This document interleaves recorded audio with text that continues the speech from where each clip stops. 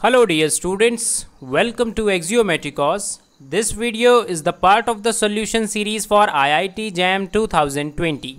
So we are here with this problem 28 of your paper and this problem 28 is a problem of analysis. So it's a very interesting problem. Okay, so keep following my steps. You will uh, get your answer in the end. So what we have f is a continuous function okay f01 to r be a continuous function such that f of 1 by 2 is minus 1 by 2 and f satisfies this property also. All right. Now what question is asking? Question is asking us about the integral of fx so you see fx they are asking us about the fx integral of fx and we are not given with the function fx so it it becomes difficult to find out this function fx so by using this condition only we have to find out fx. It means because otherwise you cannot find out integral. There is no way to find out integral un uh, until you know this integrand. So now you are given with this initial point and this equation. We don't know what it is but this equation will produce a function f and that will be unique by using this uh, this what? This initial point. All right. Now uh, where you see these con conditions initial conditions you see these conditions in differential equation. That means this equation can lead us to the derivative the value of the derivative because it looks similar to like that. So now let us see how we can prove it. So we, we are given with we are given with this condition that fx minus fy minus of x minus y is less than sine of x minus y whole square. All right? So i am just dividing x minus y on the both side. All right? So what you will get if you will divide x minus y on the both side? Uh, if you will divide it also I am taking the mod also alright? So you will get fx minus fy minus x minus y. Sorry it will not be x minus y because I am dividing it. You will get 1 from here and x minus y over here. Modulus is like this. Now on the right hand side you will get sine of mod of x minus y whole square by mod of x minus y. All right. Now what do you know about derivatives? Derivative has uh, exactly this kind of form. When will uh, when derivative uh, exist uh, then it, it has some some kind of format like this. You, you understand that? So let me clear this. X y belongs to 0 1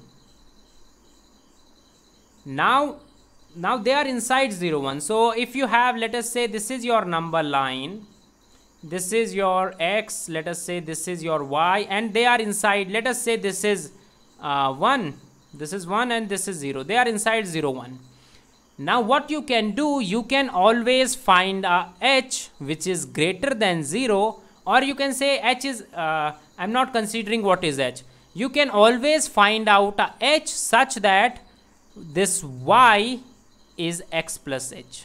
Are you getting my point? You can always do that. So if h belongs to 0 comma 1 if this h belongs to 0 comma 1 i should write more okay okay i will clear that thing all right so if x h belongs to 0 comma 1 then you can always write this x y as x plus h or x as y plus h. Are you getting my point? So let us say this uh, this x is smaller and y is bigger then you will have this condition. And if if uh, if y is smaller and x is bigger then you will have this condition. All right. So actually we don't have to think on that because uh, I will tell you later it's it's it's actually called left hand and right hand derivative. That will be that I will tell you later. So we can always find such h that means if you will sub subtract x minus y what you will get? You will get h over there. All right? So you have f of x plus h minus f of alright so I made a mistake. What? I should write here. Mm, let me erase this part so let us use this condition. Alright for a while let us use this one. Then I will explain it later. So you will get fx minus f of what? X plus h. And on the denominator part what you will get? X minus y is there so you will get minus of h. Minus 1 alright on the right hand side you will get h square because it's mod so it will be positive. And on the numerator it will be h alright now you can if you will take this case also then the then the uh, then the equation will be same. I will tell you here. So you can write this equation like this. Fx inequality I will say not equation. You will get this minus 1 is less than sine h square over h. Now what you do if you if you uh, take this x and move it toward y then the distance between x and y will be very small distance between x and y actually means y minus x so it means h will be very small that means this thing will turn to derivative when h is small. So let us apply limit on both side. What you will get here fx plus h minus fx when h is going towards 0 you will get this sine h square over h. Now I can leave this exercise to you that this limit on the right hand side is actually 0. It's easy to prove, alright? Use L'Hospital rule in order to show this. Now you got this. So this thing is actually called the derivative. Alright, so it's currently it's the right hand derivative.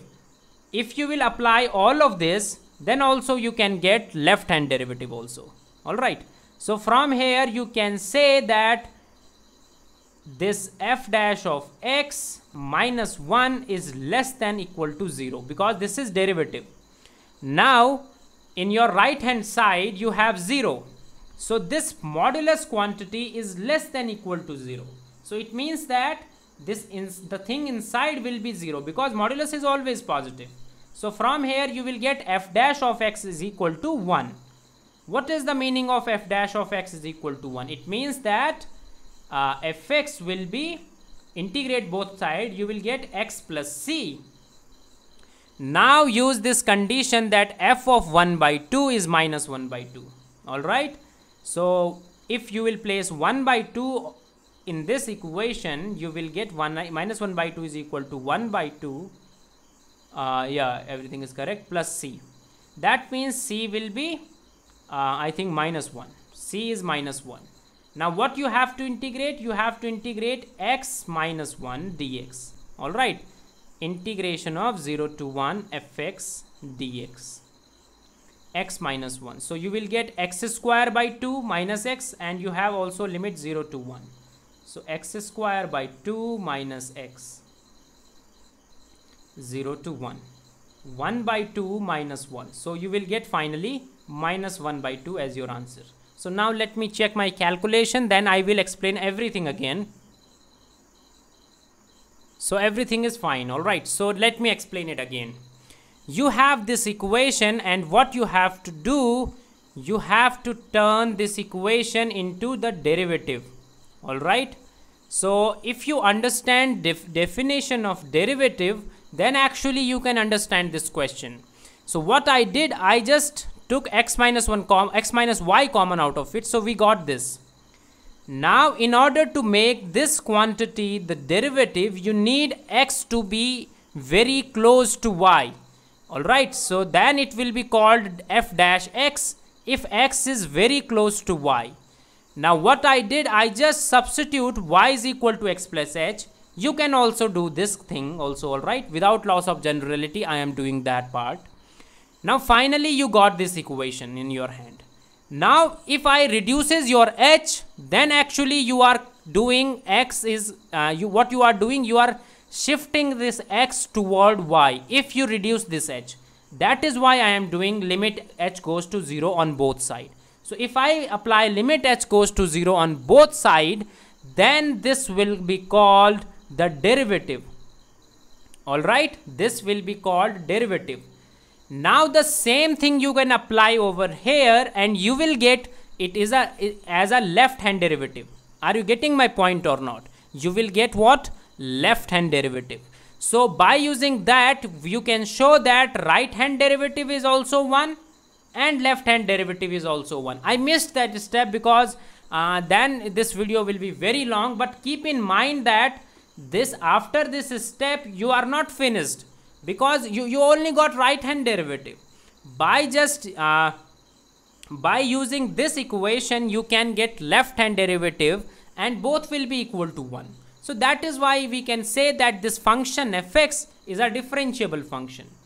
And using this we got our ordinary differential equation and using ordinary differential equation we solved this question. After this step there is nothing left in the question. Got it? So this is how we can show uh, that integration of 0 to 1 fx dx is minus 1 by 2 alright there is no other way than this. If you understand derivatives actually then you can do this question easily. Alright I understand all of this so I don't need to write everything in the exam because it's a, it's a multiple choice exam. So what you can do you can easily quickly do this. Just find out this limit then you will you are you are you done with this question. All right? So try to understand definition of derivative and then try this question yourself. Then you will be uh, able to do it quickly. All right? So thank you